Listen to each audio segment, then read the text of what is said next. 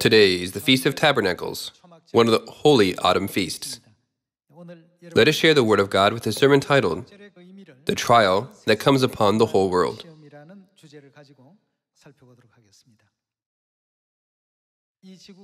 People say that since the creation of earth, there has never been a trial as great as the coronavirus that has been affecting everyone in the world these days.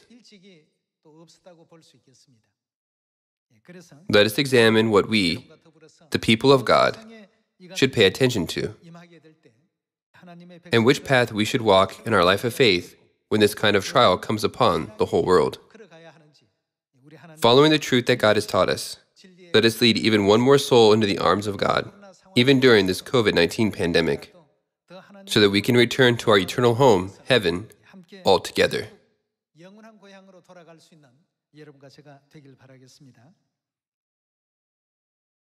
Let's look at the words of God in the book of Revelation, chapter 3, verse 10.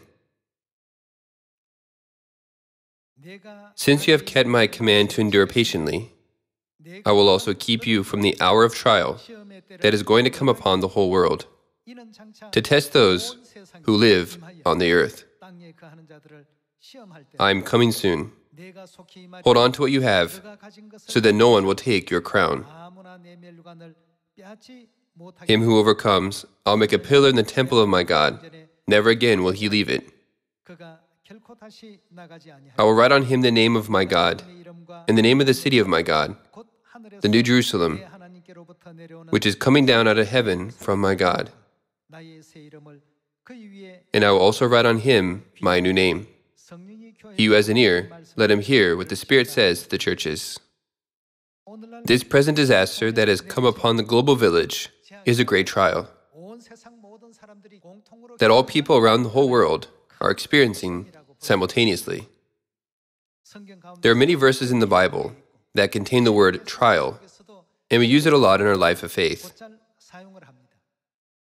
In the records of the Bible, what does God say about the ones who are resilient and overcome the time of trial? I will make them the pillars in the temple of God. Those who are victorious will become the pillars, and they will have the name of the New Jerusalem, who is coming down out of heaven, and the new name of Christ.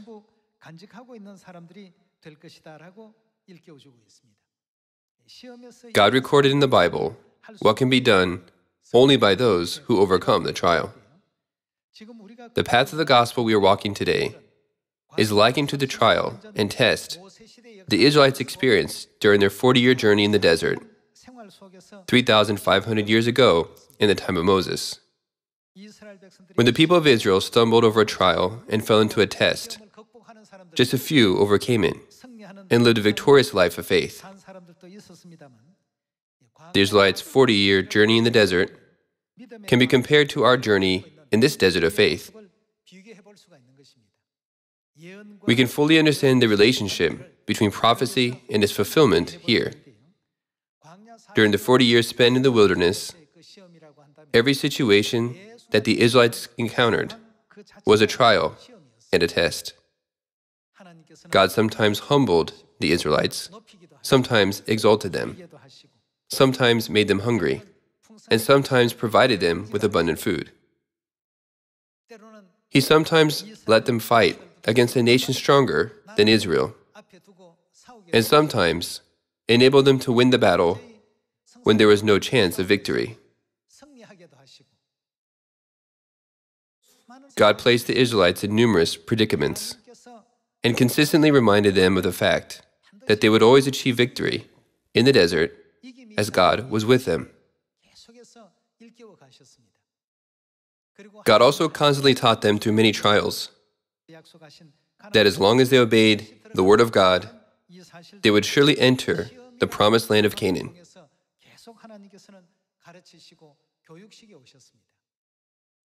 Now let's go back to the history of 3,500 years ago. Just as all the situations during the 40 years of the desert life were trials, we are facing many trials, such as COVID 19 and the anxieties of life, while we are walking in the desert of faith on the way to the kingdom of heaven. The Bible awakens us to the fact that every situation given to us is a test and a trial to overcome. Let's look at the teaching in Deuteronomy chapter 8, verse 1.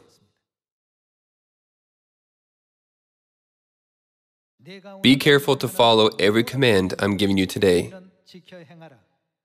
so that you may live and increase, and may enter and possess the land that the Lord promised on oath to your forefathers.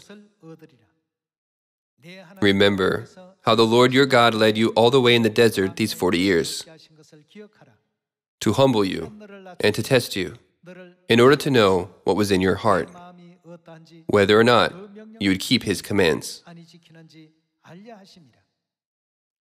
He humbled you, causing you to hunger, and then feeding you with manna, which neither you nor your fathers had known, to teach you that man does not live on bread alone, but on every word that comes from the mouth of the Lord. Your clothes did not wear out, and your feet did not swell during these forty years. Know then in your heart that as a man disciplines his son, so the Lord your God disciplines you. Observe the commands of the Lord your God, walking in his ways and revering him. For the Lord your God is bringing you into a good land, a land with streams and pools of water, with springs flowing in the valleys and hills, a land with wheat and barley, vines and fig trees, pomegranates, olive oil and honey a land where bread will not be scarce, and you will lack nothing. A land where the rocks are iron, and you can dig copper out of the hills. When you have eaten and are satisfied, praise the Lord your God for the good land he has given you. According to Deuteronomy chapter 8, at every moment of the Israelites' 40 years in the desert, God put them in a series of situations. It is written in verse 3 He humbled you. A situation that caused them to be humble was given. As it is written, causing you to hunger, they were put in a situation that caused them to be hungry. As it is written, feeding you with manna, which neither you nor your fathers had known, God put them in a situation where He provided them with manna to eat. God also put them in a situation where their clothes did not wear out for 40 years. So they did not even need to mend them or make new clothing. All the situations during the 40 years in the desert were a series of tests. For some people, the situation was uncomfortable. For some others, that situation was uncomfortable. For some others, another situation made them uncomfortable. In some other cases, God provided for them in abundance. They were either given too much or too little. Sometimes their situations were uncomfortable, and other times their situations were too comfortable. In the midst of the trials that come upon the whole world, we must understand that we are now in the same situation. Therefore, we must overcome the trials, which are part of the prophecy we should not consider the coronavirus as simply a medical dilemma. Since God made known that such a trial would come upon the whole world, we should ask ourselves what did God want to teach His people? By putting them in different situations every moment during the 40 years in the desert, God sometimes humbled them, sometimes caused them to hunger, and other times fed them with manna abundantly. The Israelites ate manna, but didn't they all die? It is because man cannot live on bread alone. Since mankind cannot only live on food that fills their stomachs, the spiritual food, that is the Word of God, is absolutely necessary for them to live. In order to make the Israelites realize and learn this lesson, God orchestrated various situations, such as providing them with daily bread, or leading them to the thirsty and waterless land. That is why the Bible says, It is to know what was in your heart, whether or not you'd keep his commands. When we look at 1 Peter chapter 5, it is written that today we are in a situation where the devil is prowling around like a roaring lion, looking for someone to devour. What is emphasized in 1 Peter 5 is faith. It says, resist him, standing firm in the faith. To stand firm in the faith, you have practiced preaching from the sermon books and are now preaching to your acquaintances and families online. Each and every one of you has been making much effort, lest you should neglect studying the Word of God. All of your effort is to win the victory at the hour of trial that comes upon the whole world. Some weak and immature members might misunderstand this situation, thinking, God put us in this situation to rest. Everyone. God said in Revelation 2:10, "Be faithful even to the point of death in order to go to the kingdom of heaven." If we live an easy and comfortable life, then we must be aware that our souls are in danger. During this preaching week of the Feast of Tabernacles, let us preach to our acquaintances and friends who we can meet face to face. However, if we cannot meet them in person, we can preach this gospel to our families, friends, and acquaintances through online meetings. God always allows us to be in certain difficult situations to test how we endure and overcome them. If God from the beginning had led the Israelites to a place where there was abundant water, they would not have complained, saying, There is no water. If he had led them to a place where there was plenty of food, they would not have complained, saying, There is no food to eat. However, God sometimes put them in a lacking and uncomfortable situation. In that situation, people may have thought, We will starve to death because there is no food. They feel so hopeless. At that time, they came to complain and grumble. Everyone, even if a trial comes upon the whole world, through this preaching week of the Feast of Tabernacles, we should fill ourselves with spiritual food, that is, the Word of God, and march toward the kingdom of heaven, honoring only our God. This is the very lesson that we must learn from the life in the desert. It is said in Revelation chapter 3 trial is going to come upon the whole world to test those who live on the earth. No matter what situation, we must neither let go of God nor forget His word. As we are living in the age of the Feast of Tabernacles, let us preach the gospel to those who have not yet heard it during the preaching week of this feast. Let's move on to Deuteronomy chapter 28. In Deuteronomy chapter 28, verse 1, it says, If you fully obey the Lord your God, and carefully follow all his commands I give you today, the Lord your God will set you high above all the nations on earth.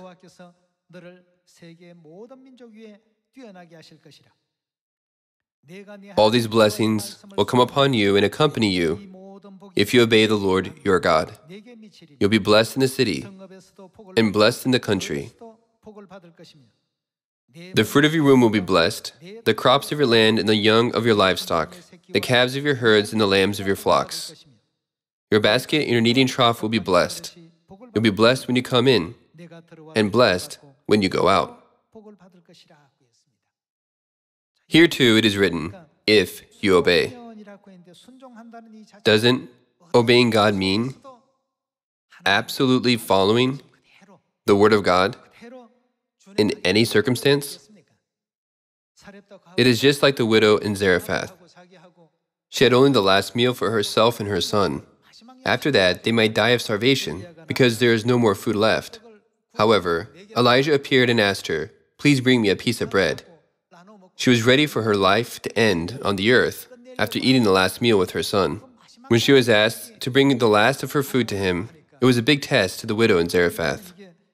It was a true test of her faith.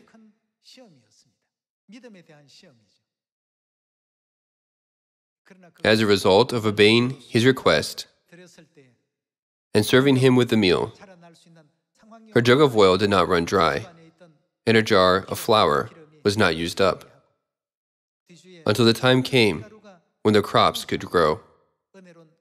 Didn't she receive a gracious blessing?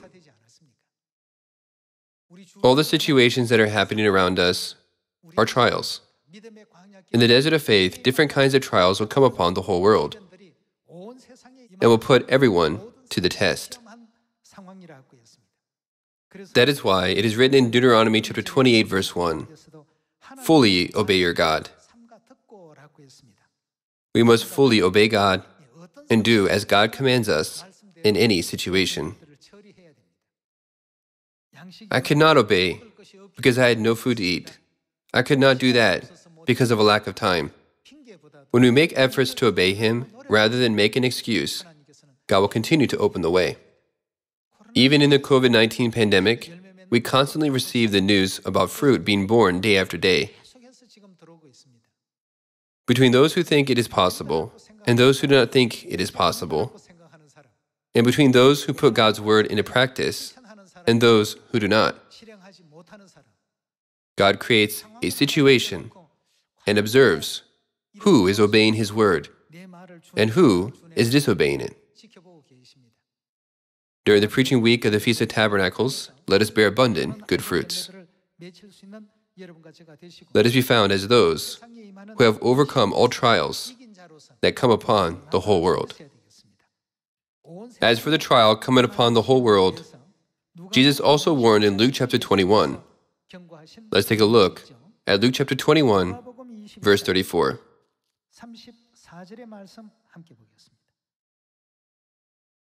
Be careful, or if you are not careful, what will happen? Your hearts will be weighed down with dissipation, drunkenness, and what else will your hearts be weighed down with?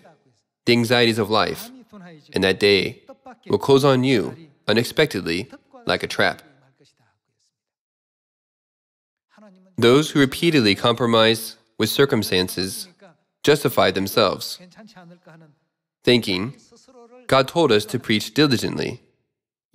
But it would be okay even if I do not preach, since I am in a difficult situation like this. They indulge themselves in living according to circumstances not according to God's word. It was natural for the Israelites to grumble because they had no food. However, what was the result of their grumbling during their 40 year journey in the desert? Since they were swayed by the situations, all the ways to enter the land of Canaan were blocked. Couldn't God have rained down manna from heaven for the Israelites and provided enough water for them to drink from the very beginning of their desert journey? However, he put them in such difficult situations to see their faith through their actions. In this way, he separated those who had faith from those who did not. Just as God separated 300 warriors from the 32,000 Israelites by gradually reducing the size of Gideon's army, he separated Israelites in the desert. God told Gideon to announce to the people, anyone who trembles with fear may turn back. So 22,000 men left. Then God said to Gideon, Take them down to the water. By looking at how they drink water, God judged their mindset. So Jesus said, Be careful, or if you are not careful, your hearts will be weighed down with dissipation, drunkenness, and the anxieties of life. And that day will close on you unexpectedly like a trap. Let's continue with verse 35 for it will come upon all those who live on the face of the whole earth. Be always on the watch and pray that you may be able to escape all that is about to happen, and that you may be able to stand before the Son of Man. Let us keep in mind that every circumstance given to us is to test our faith. Let us take a look at John chapter 13, verse 7. Jesus replied, you do not realize now what I am doing, but later you will understand. Jesus said, Later you will surely understand why I said this. Everyone, we need to know why God says, Just obey my words, follow my teachings. We do not fully know the spiritual things in the fourth or fifth dimensional world, but God knows everything. So God says, if you believe in me, obey my words, when you do so, you'll see whether or not spiritual blessings will come upon you. The whole world is now experiencing the great tribulation called COVID 19.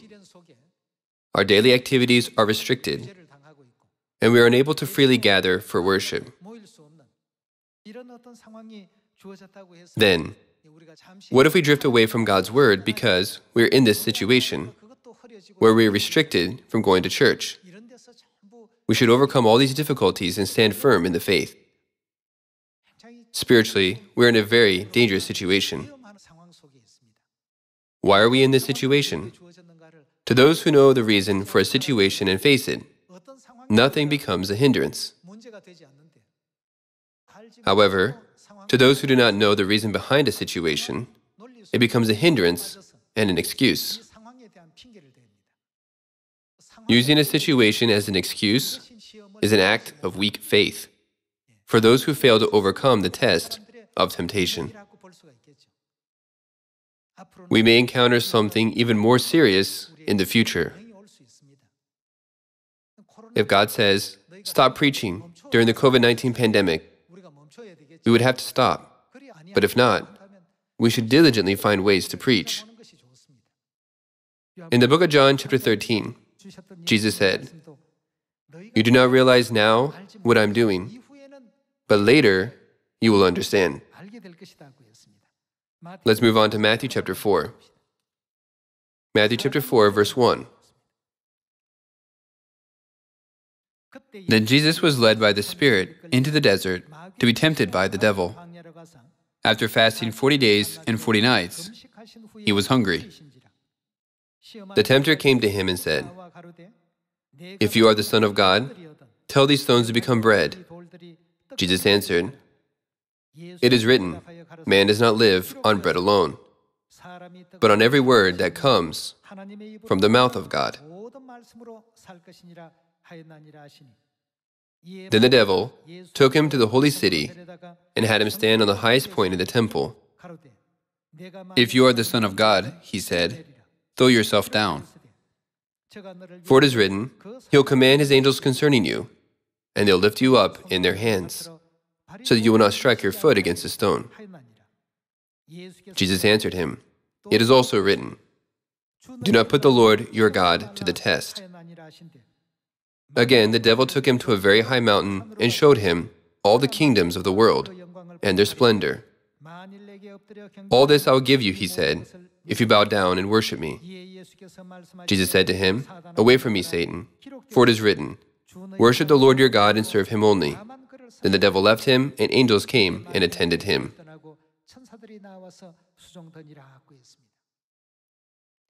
Satan put Jesus in three different situations. After Jesus fasted for 40 days, Satan tempted him with physical food. When we are hungry, we seek food to satisfy our hunger. However, what did Jesus teach us to prepare rather than physical food?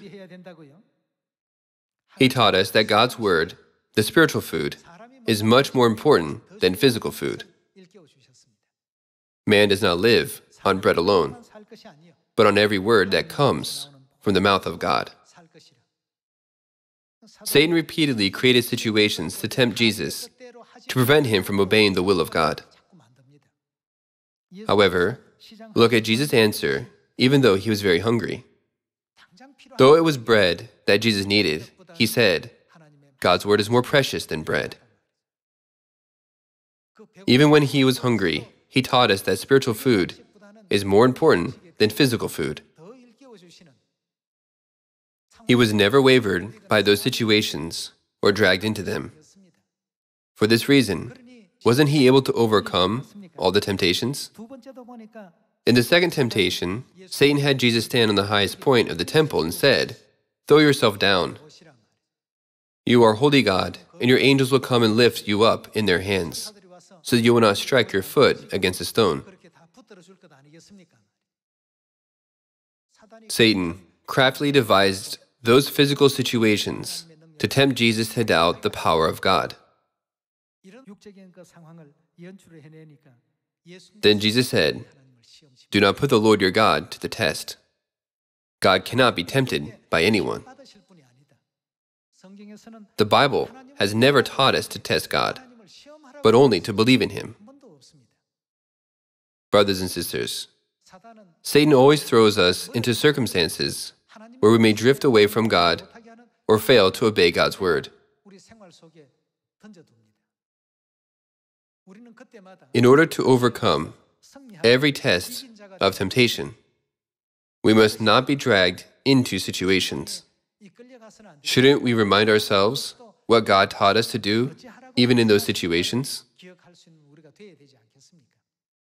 When Jesus overcame the second temptation, Satan said that he would give him all the splendor of the world if he worshipped him.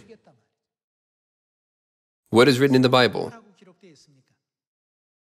The Bible says that we must not worship anything or anyone other than God, right? We should only think of God. When we serve and worship only God, we will be able to completely overcome the temptation that is coming upon the whole world as well. So Jesus said in Matthew chapter 4, which is more important, spiritual food or physical food? Is God the object of tests or the object of faith? In the third temptation, Jesus asked, which is right, worshiping anyone or anything else other than God or serving God only? Jesus did everything as recorded in the Bible. He said in the first and second temptation, God's word, spiritual food, is more important. And God is the object of our faith, not the object of test. He said in the third temptation, serve God and worship Him only. Jesus showed us this kind of example of how to overcome temptation. If we fully carry out the words of Jesus, we'll be able to make this autumn feast the Feast of Tabernacles, more fruitful than ever. Let's take a look at Matthew chapter 24. Matthew chapter 24, verse 3. As Jesus was sitting on the Mount of Olives, the disciples came to him privately. Tell us, they said, when will this happen? And what will be the sign of your coming and of the end of the age? Let us carefully look at what Jesus answered. Watch out that no one deceives you. We must watch out for this. Secondly, Jesus also warned us not to be deceived by false Christs. Therefore, we must watch out for them. Jesus also said, Nation will rise against nation, and kingdom against kingdom. There will be famines and earthquakes in various places. In verse 9, Jesus said, You'll be hated by all nations because of me. In verse 10, he mentioned the characteristics of those who have fallen into temptation. He said, At that time, many will turn away from the faith and will betray and hate each other. Many will hate each other. If we have any feelings of hatred towards anyone in the truth, we must get rid of those feelings immediately. We must think, I'm going through a great test now. Let's continue with verse 11. And many false prophets will appear and deceive many people. Verse 12. Because of the increase of wickedness, the love of most will grow cold.